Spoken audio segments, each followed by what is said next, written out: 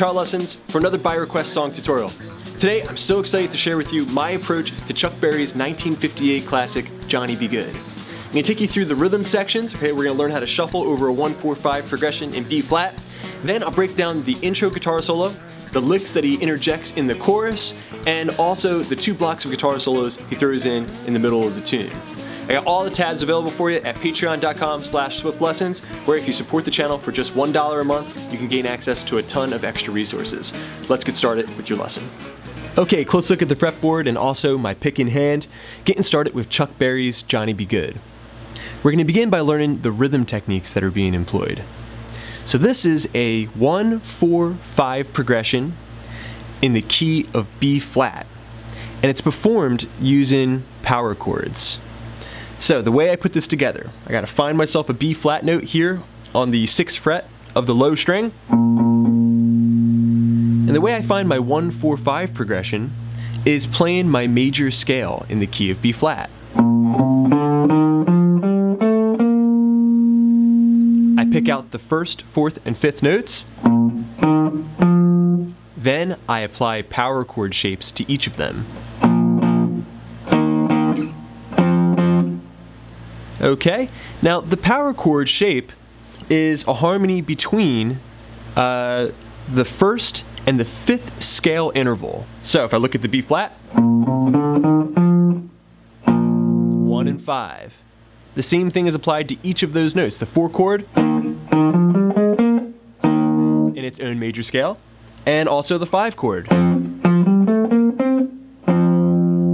Right? Harmonizing fifths, that's what power chords are. So we have the one, four, five, that's B flat, E flat, and F. In the key of B flat. Okay, now that you know the chords, we're going to apply the 12 bar blues. This is our progression. It's a very basic version of the 12 bar blues. 16 beats on the one chord, B flat, 8 beats on the four chord, E flat, back to the one chord for 8 beats, then we're going to go up to the 5 chord, F, for 8 beats, and then return back home to the 1 chord for 8 beats. In terms of your, uh, your strumming, we're just going to do uh, eighth notes. Most people do just kind of down, down, down, down, down like this. But if you're very good at blocking the other strings, you can do down and up strokes, okay? You may also want to employ a little bit of palm muting too. All right, so let's see if we can apply the 12 bar blues using our eighth note strumming um, to that key of B flat. So we have one, two, three, four, one and two and three and four, five, six,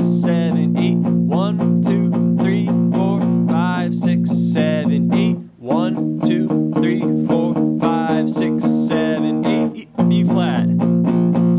Five, six, seven, F. One, two, three, four, five, six, and back home. So that's how the chord progression is going to sound, but we're missing one element, the shuffle. What we're going to do now, on beats two and four, is extend our pinky out a whole step above that fifth. Just like that, you see? One and two and three and four and... So, on beats two and four, that happens to be the beats that the snare drum hits. So I want you to think of your pinky as being tied to the snare drum. That's super important in terms of being able to play in rhythm and also being able to sing as you play. It gives you something kind of locked down on. So we do this for 16 beats. Half done. Two, three, four, five, six, seven, four chord. To the one.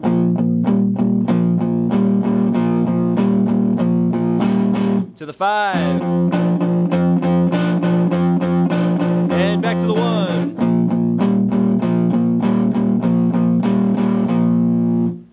And that is the progression that's used throughout the entire song. Okay, so rhythm guitar players, now that you can shuffle over your 1 4 5 progression in the key of B flat, you're able to get through the verse and the choruses in terms of rhythm.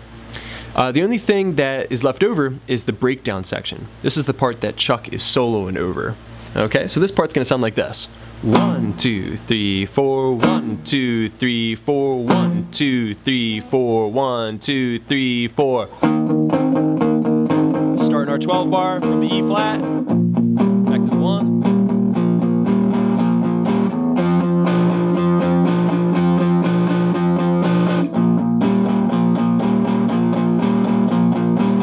Then the whole thing repeats. Two, three, four.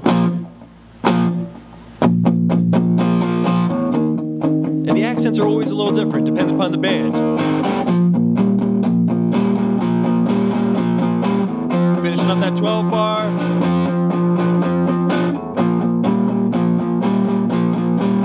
And then that gets you into verse number three. Okay, so what we had there was just the one chord B flat. You hold that for four beats, nice and short, okay? You'll hear the bass and the drums doing the same thing. And really, you just follow what they're doing, okay? So you always try to sync up with the bass especially. One, two, three, four, one, two, three, four. So that was the one in the four chord, then back to the one. One, two, three, four, five, six, seven, eight. If the bass player doesn't play anything else, you don't play anything else. Sometimes you might hear it like this. Then you jump into the four chord. Okay, and then from there, you just finish up your 12 bar blues. Okay, now that you have your rhythm techniques down for the verse and chorus and also the breakdown, let's get into the intro lead guitar lines. Now, using the tab available at patreon.com slash swiftlessons, we're gonna go line by line. The first line of the tab sounds like this.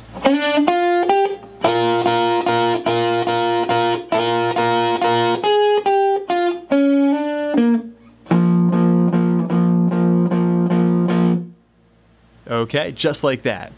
So, uh, we're starting off sliding up to the 7th fret of the G string, uh, probably from a whole step back. Then the 6th fret of the B, and the 8th fret of the B.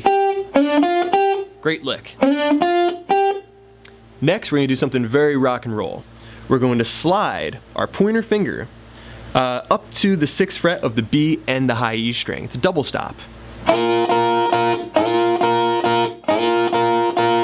All right, we did that three times, okay? And I was sliding from, you know, about a whole step or a half step back. We're not voicing the note that we're sliding from, so it doesn't really matter if you go or a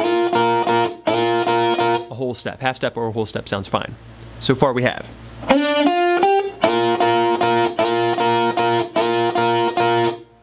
All right, next we're gonna walk down. This is a classic lick. We're going nine on the B, eight, then six. Next, we're gonna go to the G string and do a hammer from six to seven, and then a nice short note on the eighth fret of the D string. All right, so far we have.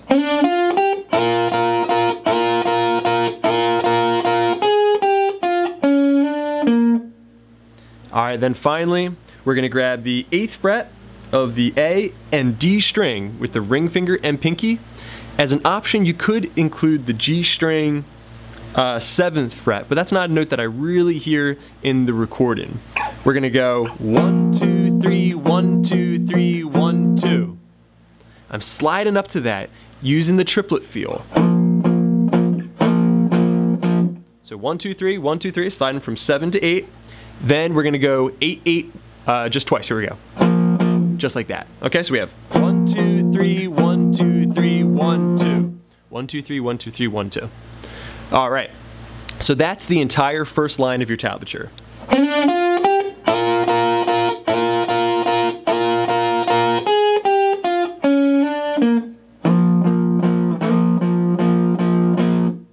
All right, now we're ready to move on to the second line.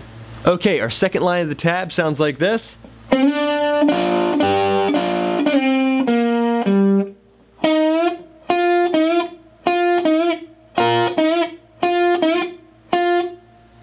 Okay, just like that. So that was me uh, sliding from 5 to 7 on the G string. Copy my fingers, make sure you're copying my fingers. Then I put my pointer finger down on the 6th fret of the B and hit those two strings together. So I slid the 7, then I played 7 and 6, G string, B string. Then my ring finger goes up to 8 on the B, back to 6 with the uh, pointer finger, then I'm gonna slide from seven to five. Then my pointer finger will take the third fret of the G string. Then I'll play the uh, fifth fret of the D string.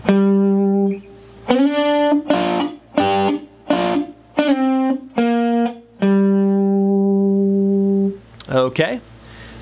Next, we're gonna get into this thing again. Super rock and roll. I just love these licks. Um, this is something that you hear in a lot of rock and roll songs.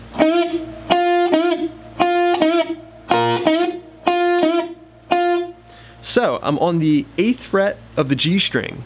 I bend it up super short.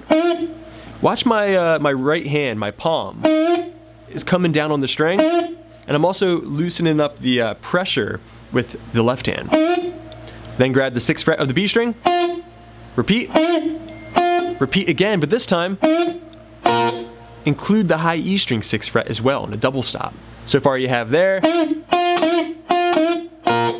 Alright, then we need to do that two more times.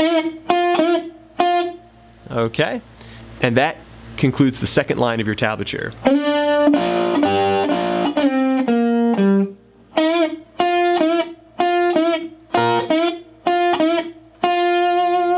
Now we're ready to move on to line three. Okay, line three of your tablature is going to have the same kind of uh, little bending lick there. Then this really cool little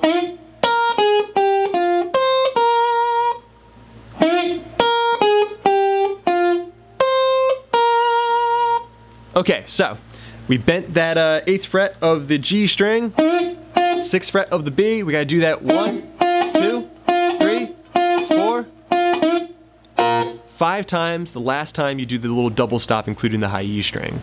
So far you have. Okay. Then after that, the last little measure here, we're gonna go bend that eighth fret of the G string, grab the high E string sixth fret. That was nine, eight on the B string, then sixth fret of the B, then we're gonna grab the eighth fret of the high E string. That was uh, eight and six on the high E string. You put that uh, third line together, we have.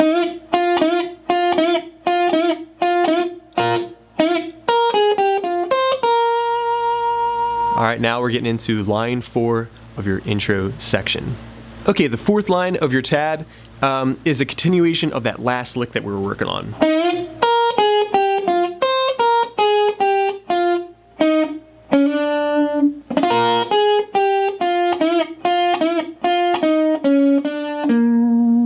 Okay, so let's start from the last lick of line three and extend that into um, uh, line four. So we're bending the eighth fret, G string, that high E string, sixth fret. Then we had that nine, eight, six, eight, six on the high E. All right, that was from line three. Now getting into the line four. B string, ninth fret, eighth fret, sixth fret. Then we have the eighth fret G string, a hammer from 6 to 7 on the G string. Alright, that's a good place to stop. Practice that for a little bit. Okay, once you have that down, we're to play.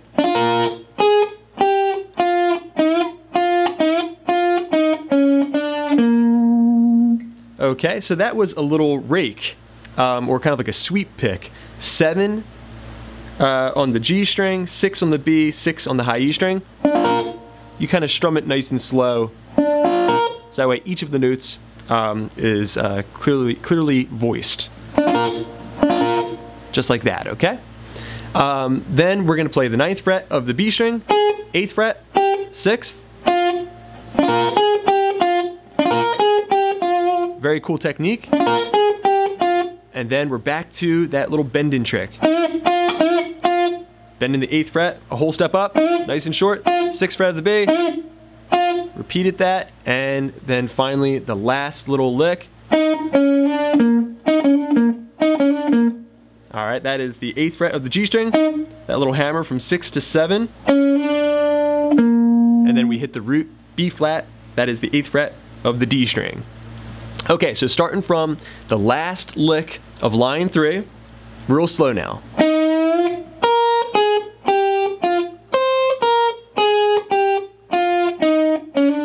Sweep.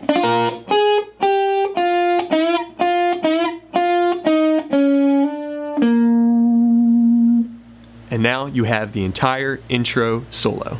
Okay, now I'm gonna play that intro solo at a very uh, slow tempo for you to play along with. So I have one, two, three.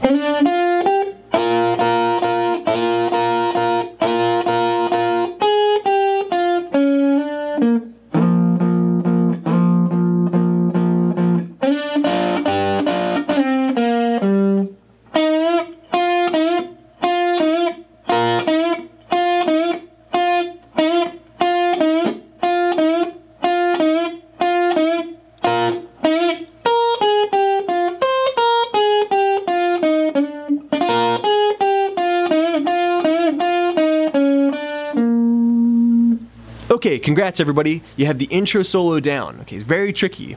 Uh, now that we have that down, we're gonna get into the chorus fills. These are little licks that Chuck interjects with here and there. So, as the chorus comes in, go, go! Go, Johnny, go, go! He keeps throwing in that little lick there. All right, you do it five times total. So that's um, that's me uh, coming up into the 10th fret of the G string, and the ninth fret of the B string, and it's it's a slide. It doesn't really matter where you slide from.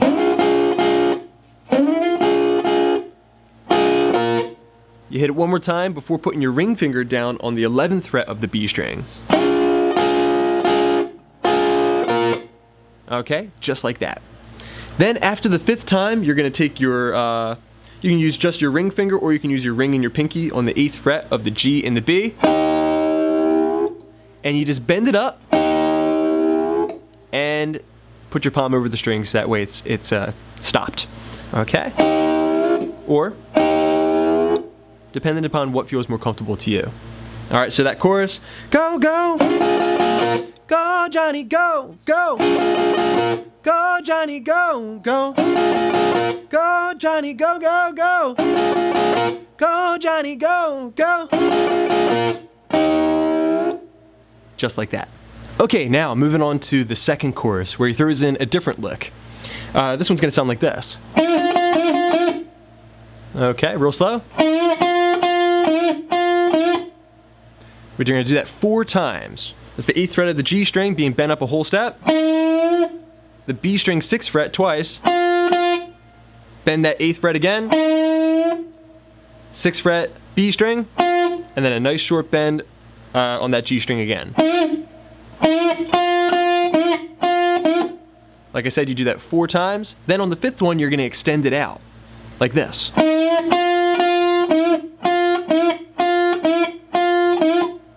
Okay, so that was the bend, six, six, bend, six, bend, six, bend, six, and bend.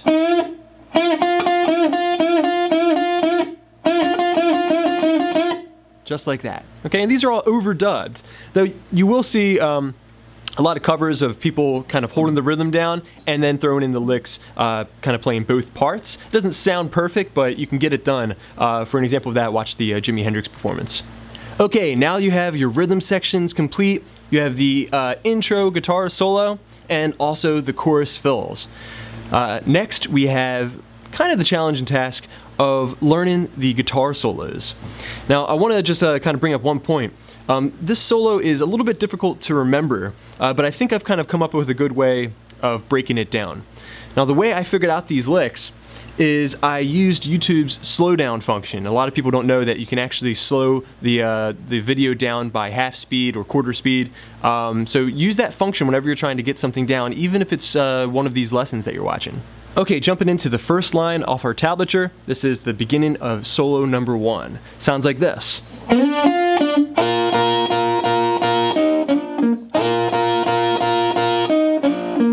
All right, classic licks. We slide to the G string 7th fret, 6th fret B, and 7th fret G string again. Then we're to slide up into the 6th fret of the B and high E string.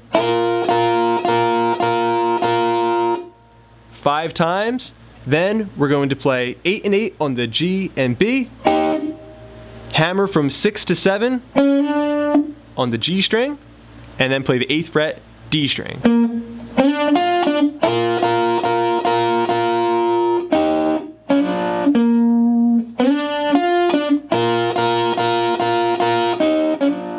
Then you just repeat that last bit again.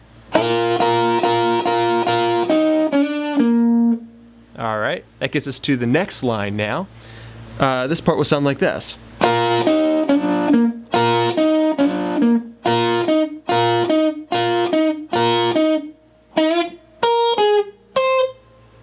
Okay, so that was six and six of the B and high E string. Then we're going to play eight and eight of the G and B, and that hammer, six to seven, and then that D string, uh, eighth fret again. So this is kind of a condensed version of the licks that we had in the beginning of it. Do that twice, okay? That's a lick that you really want to take with you. Even if you forget all this, hold on to that lick because that's that's an important one. All right, then if you listen to the recording, it just kind of sounds like he's going six, six, six, six, okay? But if you slow it down, you can hear that he's actually tapping the eighth fret of the G string in between. So, okay, so that was six and six of the B and high E string, eighth fret G, six and six, eighth fret, sixth fret, eighth fret, sixth fret, and eighth fret. Next, we're uh, jumping into this really cool lick, which isn't typical rock and roll. Okay, I bend that 8th fret uh, G string, 6th fret high E string, ninth fret B string, and 8th fret high E string. That gets us into the third line now, which is going to sound like this. So, the last lick of line 2 and the first lick of line 3 are kind of together, okay? It's one lick.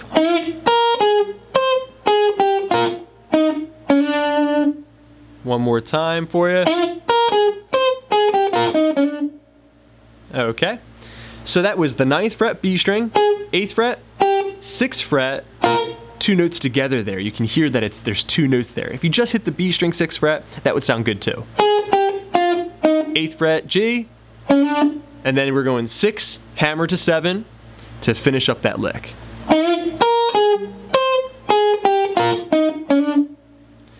All right, next, uh, we're going to play that little sweep thing. All right, that's the 7th fret G string and the 6th fret of the B and high E string again. All right, so starting from the end of that first lick of line 3 uh, all the way to the end of that line, it will sound like this.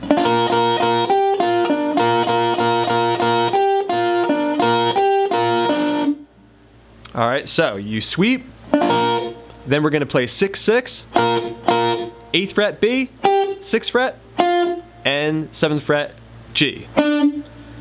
Next we're gonna play 6, 6, 6, 6, 6, and then repeat that, Eight, six, seven on the G string there.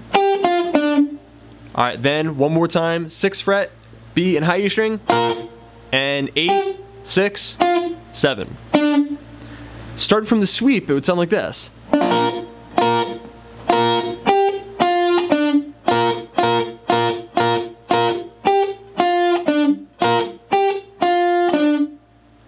And that gets us to line number four. All right, now you have line number one.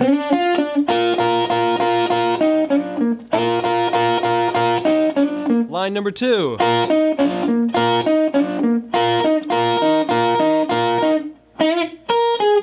Into line number three.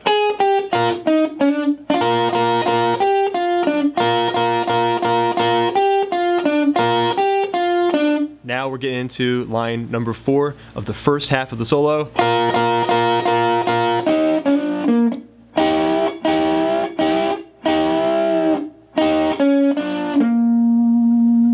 Okay, so that was a, um, a repeat of an earlier lick. The sixth fret of the B and high E string, one, two, three, four, five times. Double stop on the G and B string, eighth frets. And the hammer from six to seven on the G. And the eighth fret of the D string. All right, next we're gonna take the eighth fret of the uh, B and G string, bend it up. Okay. One more time. So four times all together.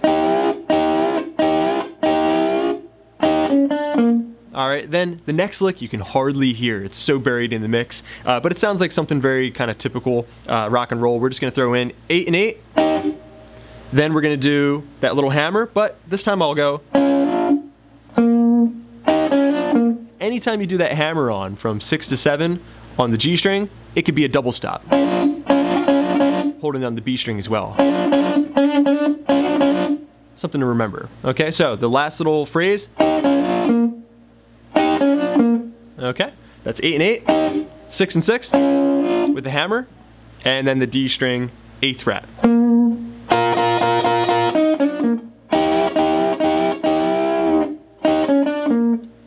just like that. Okay, next. The band comes back in with those broken down chords. The one, two, three to the four chord, two, three to the one. Building up. And once again, shuffling through the 12 bars starting from E flat. We're going to start this bit off the same way that we started the first half of the solo off, except we're going to uh, remove that first little lead-in lick. We get rid of that. This time we're just going to play.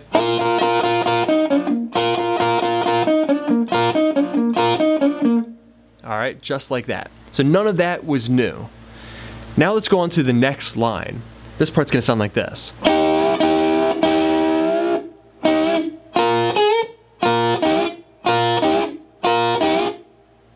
Okay. So that was the eighth fret of the G and B string three times, bending it up. All right, next we're going to play the same double stop bend, then 6 and 6 on the B and high E string, bend the ninth fret of the B string, very difficult to hear in the recording, but slowed down you can hear it, then go back to 6 and 6 of the B and E. Next we had that bend again, 6 and 6, bend again, 6 and 6, and bend again. You put all that together, we have a little bit of space, a rest.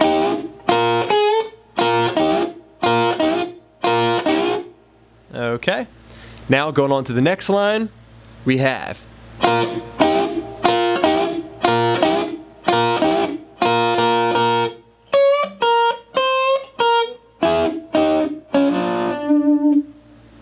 Okay. So that was the 6th fret B and high E string bend up on the G and B 8th fret. Do that again. One more time. Actually, one more. All right, so. Then we're gonna do six, six, six. Then this very cool little lick. Bend the high E string 9th fret, 6th fret, 8th fret bend, 6th fret, then double stops, descending, 9 and 9, G and B string, 8th fret, 6th fret, and a hammer uh, to the 7th fret of the G string. Okay, so all that line, okay, this is the second from last line on your tablature sheet.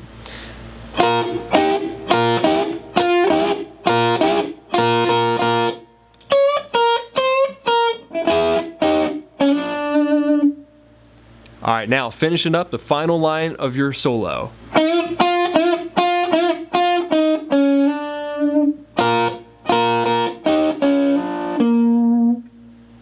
Okay, so we're back to those classic uh, kind of rockabilly bends.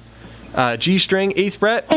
6th fret B, bend again, 6th fret, bend, 6th fret, 8th fret, hammer from 6 to 7.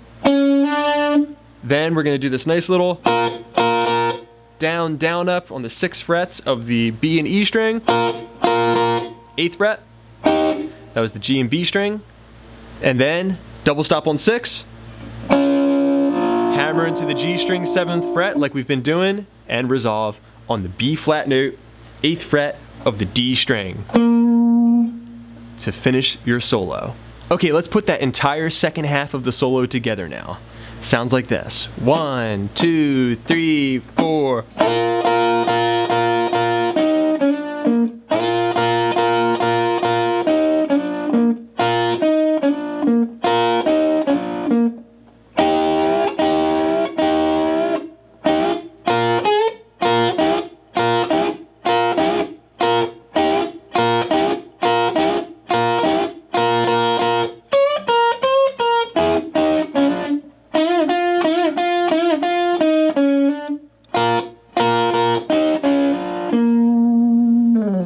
Just like that. Congratulations, everybody.